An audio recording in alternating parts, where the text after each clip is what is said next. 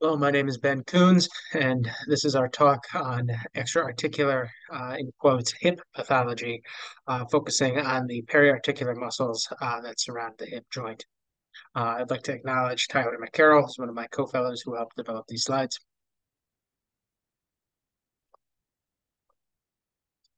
Disclosures are on the AOS Academy website.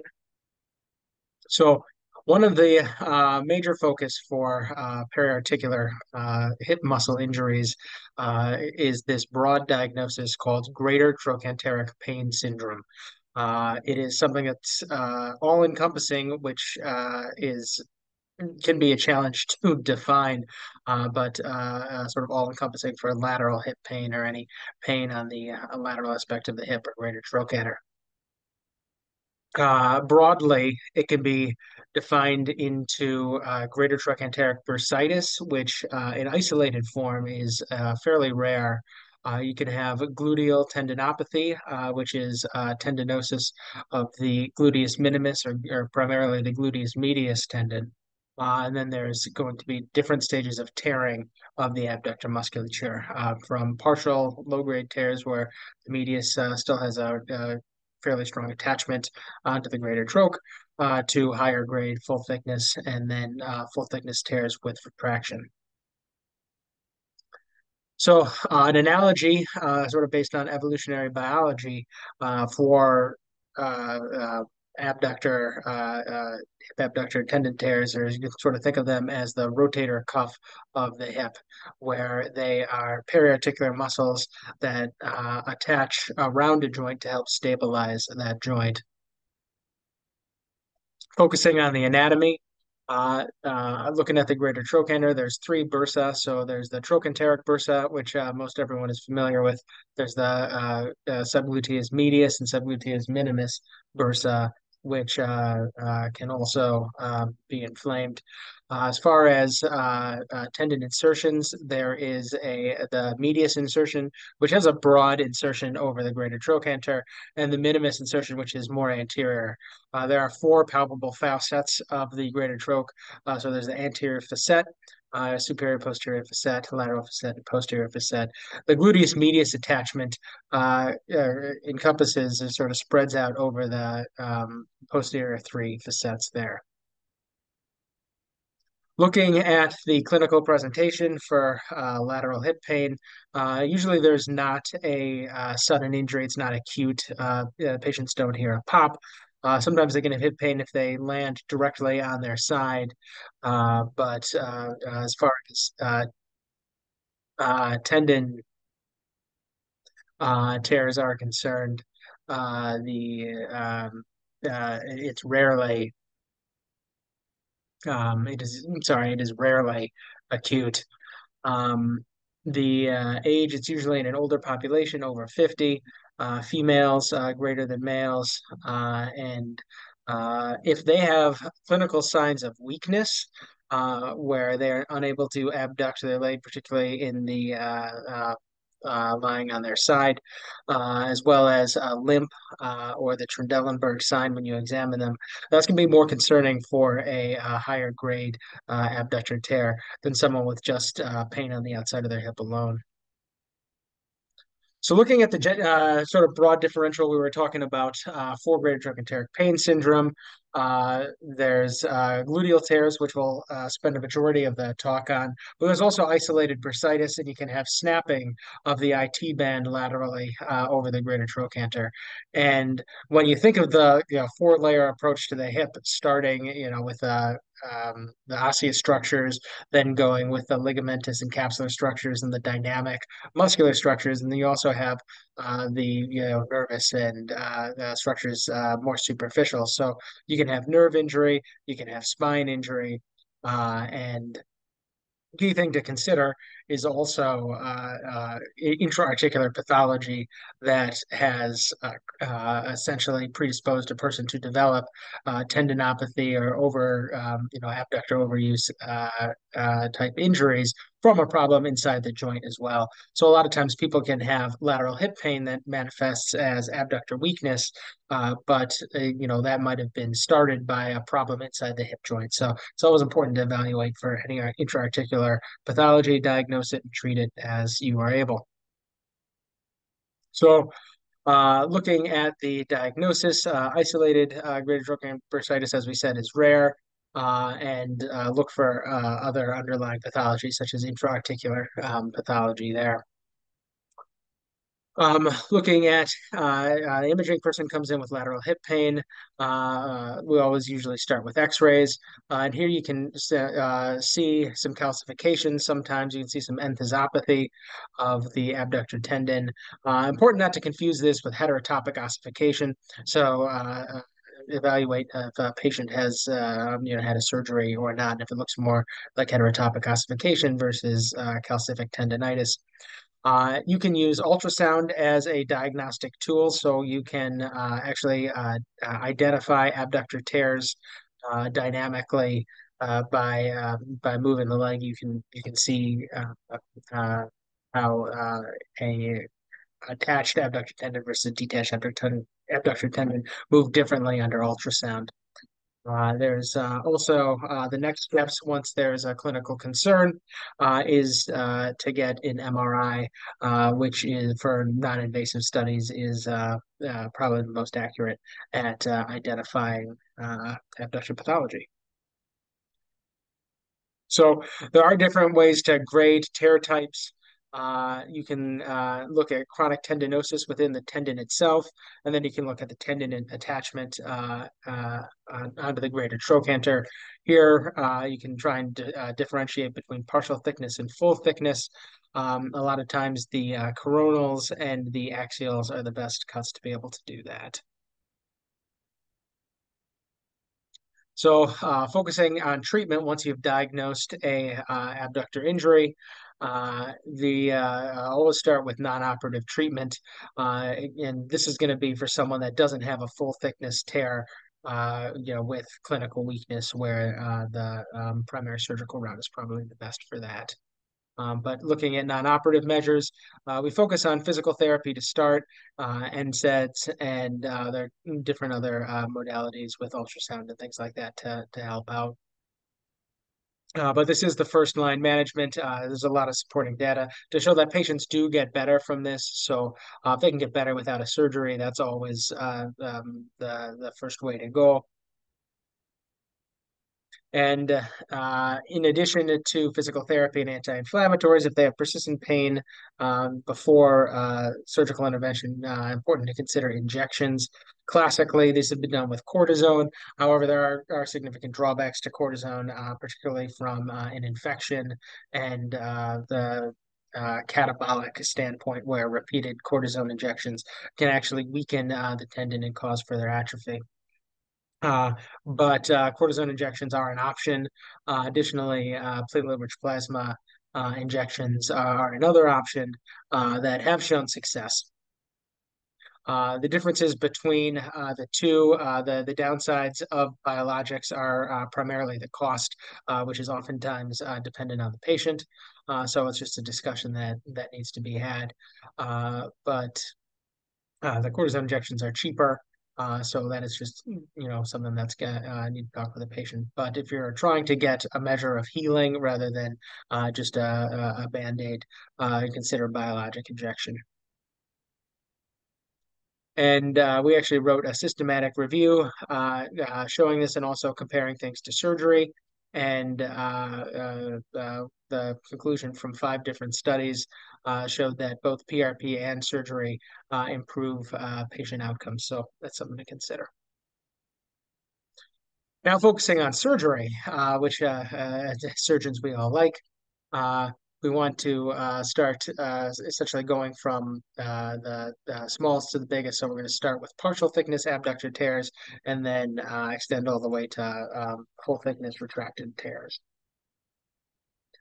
So uh, classically, these uh, any abductor uh, pathology uh, that was treated with surgery was treated through an open incision uh, through the lateral aspect of the hip.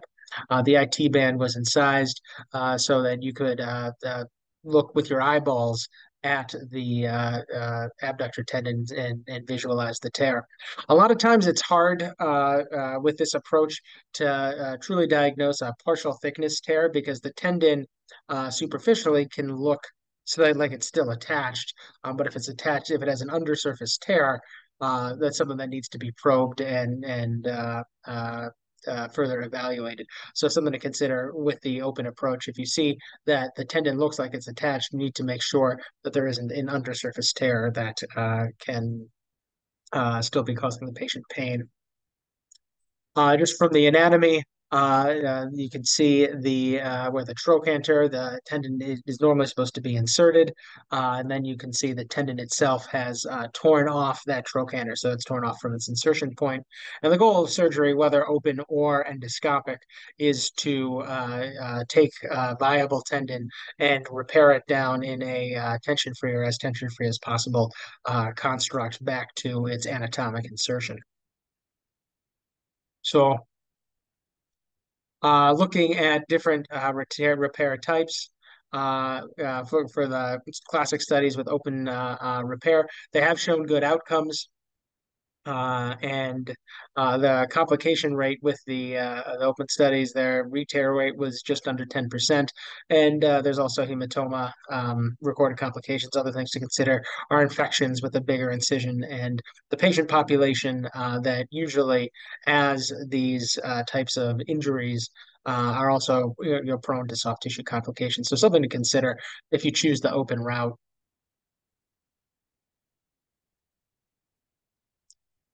Uh, so uh, uh, uh, another way to treat uh, more partial thickness or non-retracted full thickness tears can be endoscopic. Uh, so this is using a 70 degree uh, arthroscope, not inside the joint, but actually going out and looking uh, in that uh, um, in that uh, trochanteric region, uh, you can identify uh, the tear similarly to how you do open. Uh, but here you can actually get a better appreciation for those partial thickness undersurface tears just from the nature of the arthroscopy. and there, there are various ways that have been recorded in the literature to repair these, but the a double row repair where you have uh, uh, an extra layer of reinforcement is something that uh, can be beneficial. So uh, for a technique uh, that is uh, performed at the American Hip Institute, this is an endoscopic repair. you can see the um, the tendon is on the sort of upper half of the screen, and this is a um, uh, either a partial thickness undersurface or a, a non-retracted tear. So the tendon uh, itself still has um, is, is, centered in its anatomic uh, uh origin, or insertion where it should be, uh, but they're uh, going to be drill holes placed uh, where the uh, uh, and then suture anchors that are knotless, and at the end of the of the procedure, just by passing the sutures sort of B to A and A to B,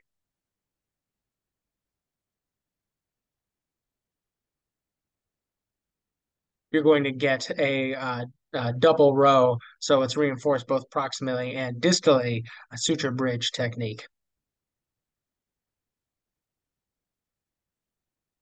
So we uh, uh, were one of the first groups to publish our outcomes on uh, abductor repairs.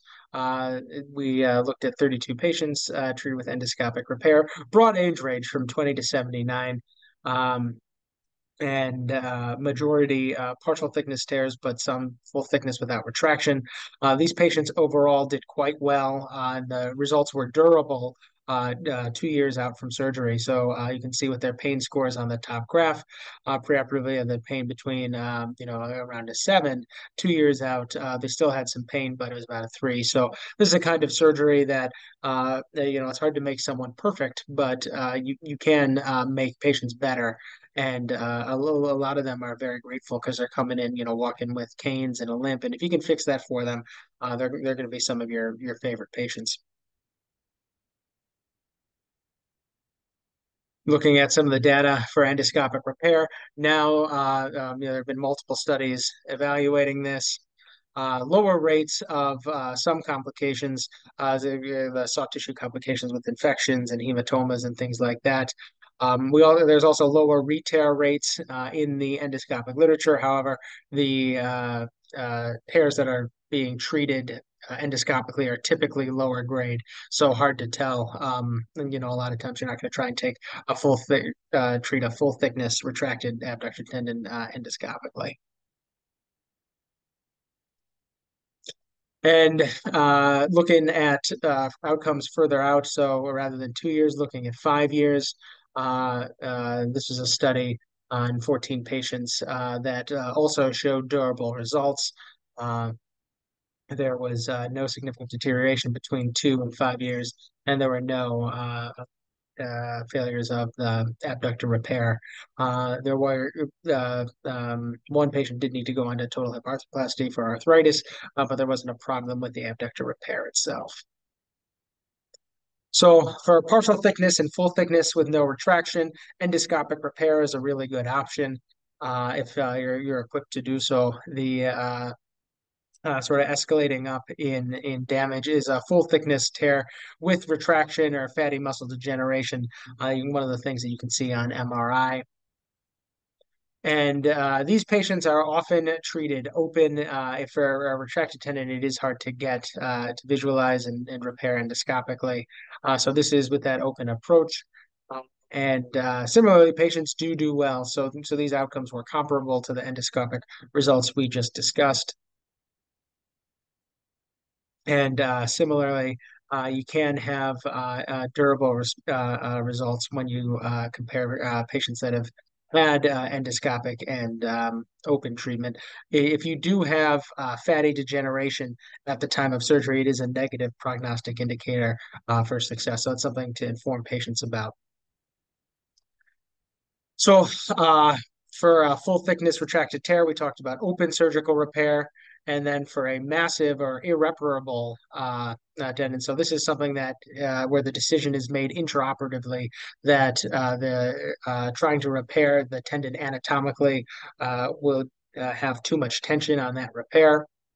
Uh, there is the uh, uh one option uh, for uh, having a uh, reconstruction graft. So this is it can be a dermal allograft or, or, any kind of allograft to help bridge the gap between the retracted tendon and its anatomic insertion. So um, again, more of a salvage type procedure because it is not native tendon, but it is definitely a, a good option um, when there when you know there aren't a whole lot of good options. The last uh, technique would be a gluteus maximus uh, transfer, and uh, this is uh, for an irreparable uh, gluteus medius, where you're uh, the you've made the decision that the the remaining gluteus medius muscle is probably going to be non-functional, either by the severity of the retraction or the degree of atrophy uh, that you can see both intraoperatively and on the MRI. Uh, so the goal of uh, the gluteus maximus transfer would be to uh, use a slip of the gluteus maximus, which is typically a hip extensor, uh, transferring it uh, into the um, more anteriorly, so it can be a hip abductor and take over some of the job of the now um, fairly functionless gluteus medius.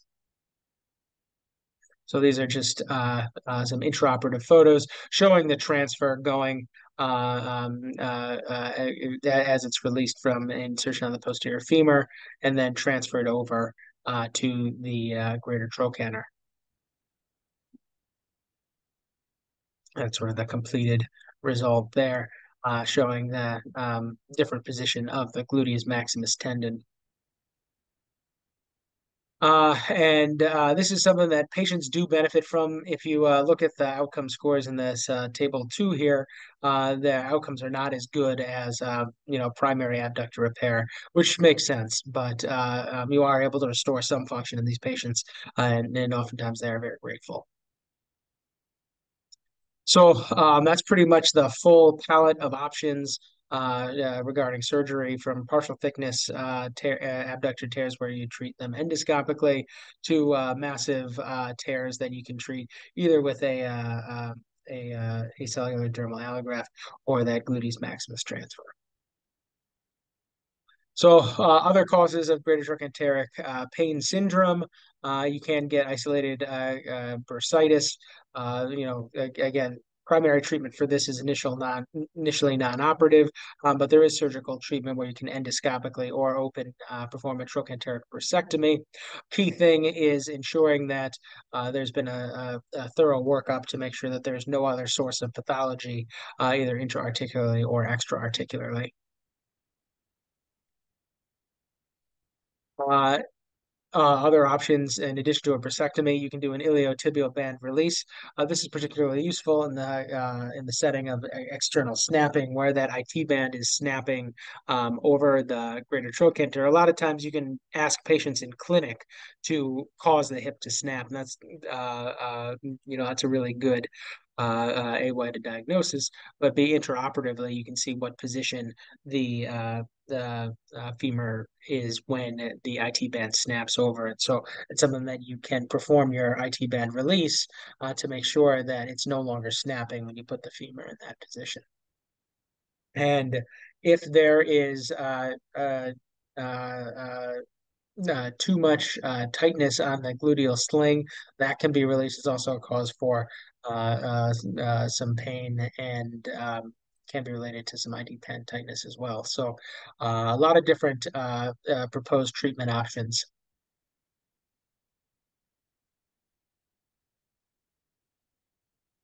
So, uh, looking at the pros and cons versus endoscopic or open gluteus medius repairs, uh, it's really going to be dependent on the type of tear.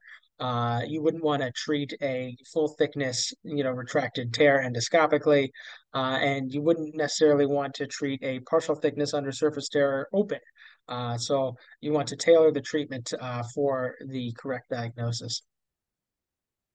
And this is a uh, just results uh, showing uh, patients uh, from a different population that are more active.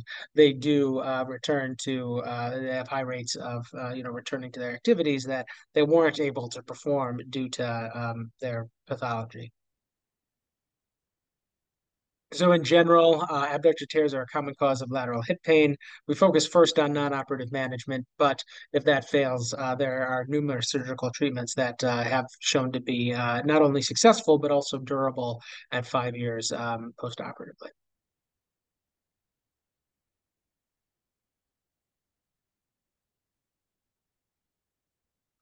So switching gears now uh, for something completely different, we're going to uh, move uh, posteriorly to the proximal hamstring.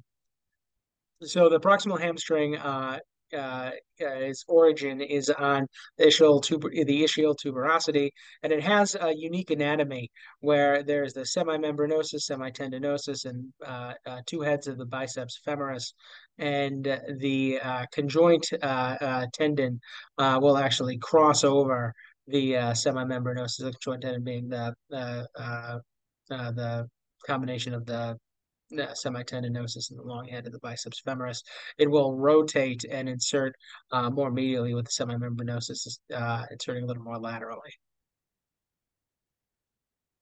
And that's what uh, is shown uh, um, here in this graphic depiction of their insertions. But uh, trying to recreate this rotation is one of the goals of anatomic repair. So uh, uh, proximal hamstring, uh, it's uh, classically a water skiing type injury, but a lot of times we see it in track athletes or um, uh, uh, football players, basketball players, where you put yourself in a position where you have an eccentric load with a flexed hip and extended knee. So think any position that tightens the hamstrings if you flex your hip and extend your knee, and then apply a load that um, could potentially put the, the hamstring at risk. So, uh, as opposed to the greater trochanteric pain syndrome patients, these patients, uh, it's usually acute, so they have a sudden pain. They can hear a pop. A lot of times there is ecchymosis down the posterior thigh. Sometimes they can feel a mass of, uh, you know, where that proximal hamstring has retracted, uh, and there's going to be associated weakness and a limp. So x-rays are often negative uh, if uh, it's a younger patient who hasn't reached skeletal maturity uh, um, or in, in, in some rarer cases in adults, uh, you can get avulsions uh, off the ischial tuberosity, and that's something an x-ray will pick up. An MRI uh, um, is the next step when there is a high clinical concern, which you can uh, diagnose by tenderness over the ischial tuberosity, hamstring weakness, uh, you know, looking for ecchymosis. All of those are signs for a, a possible hamstring injury for which an MRI is indicated. And uh, uh, look, as far as the treatment goes, if there's a torn retracted tear, that treatment is surgical. However, if there's a partial thickness tear where the uh, it's still largely attached, um, and you don't have retraction uh, of the uh, of the hamstring, uh, non-operative treatment uh, is a is a good consideration. And uh, for those patients that uh, you know have a partial thickness tear or full thickness non-retracted tear, um, they might have a more chronic presentation, which is also something to think about as well. So for non-operative treatment, you can focus on PRP in addition to physical therapy, anti-inflammatory regimen, uh, all of those um, are, are, good options. If those fail, an endoscopic uh, repair uh, is uh, can be considered as well. For uh, larger injuries, uh, so if there's tra- you know retraction greater than two to three centimeters, an open repair is indicated. Um, just to improve the visualization of the anatomy and the torn tendon. Uh, if there is an avulsion uh, where the bone is actually displaced, and for the avulsions, the tendon is still largely attached to that avulsed piece of bone, uh, then that's something that can uh, be fixed uh, with a um, with a screw. so that's an open reduction internal fixation, where you reduce the avulsion fracture, put the bone back to where it broke off, and fix it with a screw. Looking at mid-substance hamstring uh, strains, these are non-operative, so this is going down uh, the hamstring muscle belly away from the hip, uh, but uh, it's a, a, uh, a, very common site of injury in adults. Think weekend warrior type injury. Um, risk factors would be a previous hamstring injury, uh, or a, a, a, deficient hamstring to quad ratio, uh, uh, reduced hip extension, uh, or a, uh, a, subtle leg length discrepancy. So as we said, the treatment for mid-substance tearing is non-operative. Uh, if there's a hematoma, uh, uh, then you can uh, treat it with either therapy or PRP. If there is not a hematoma, so this slide is incorrect, then you can treat it with just therapy alone. Thank you so much for your time.